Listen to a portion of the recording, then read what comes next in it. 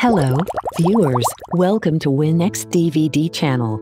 This video will teach you how to fix QuickTime Player, can't open MOV file issue, and then play MOV files easily. When you play a MOV video with QuickTime, it may fail but give error message like QuickTime Player can't open XXMOV, or the file isn't compatible with QuickTime Player.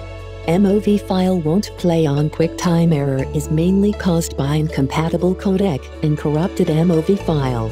In daily life, nearly 90% of the MOV file not playing errors are caused by missing required codec. For example, only MOV encoded with MPEG-4 or H.264 video and AAC audio is fully supported by QuickTime Player in all versions on Mac and Windows. And also damaged MOV file is another headache. Other small reasons may be file format changes, read or write mistakes, and virus assaults that are not possible to happen. So, this video will tell you how to solve QuickTime Player can't open MOV issue in two parts. Part 1. Convert MOV to QuickTime supported formats. The tool you need is WinX HD Video Converter Deluxe. It is a 4K video converter and compressor that you can use to convert MOV videos from any device to QuickTime and other formats, reduce file size and edit videos. First, you need to download WinX HD Video Converter Deluxe, install and launch it on your computer. Second, drag and drop the MOV video to it, then choose a QuickTime compatible video format. From the output profile window, you can either choose MP4 video or MOV video as the output format. Then, click Done.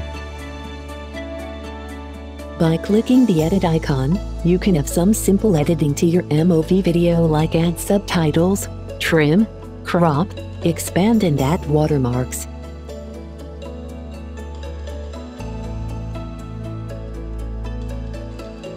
If needed, click the settings icon to change the video bitrate, FPS or resolution that can help reduce file size.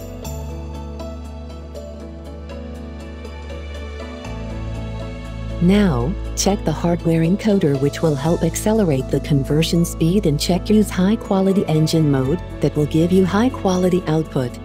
Now, you can click the Browse button to choose a destination folder to save the converted file.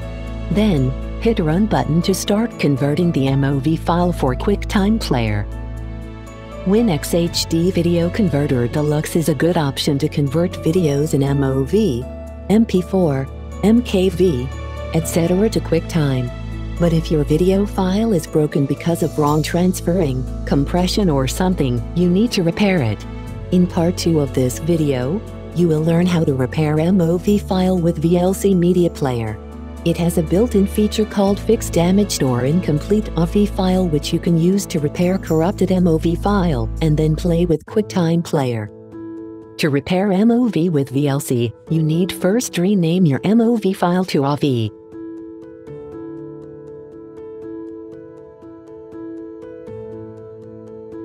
Then, go to VLC and choose Preferences. In the new pop-up window, navigate to the Input Codecs section and choose Always Fix in the drop-down menu of Repair AVI files. Then, click Save. After that, go back to the corrupted MOV file that has changed to the AVI format. Right-click on it and choose Open with VLC. Then, VLC will automatically fix it for you.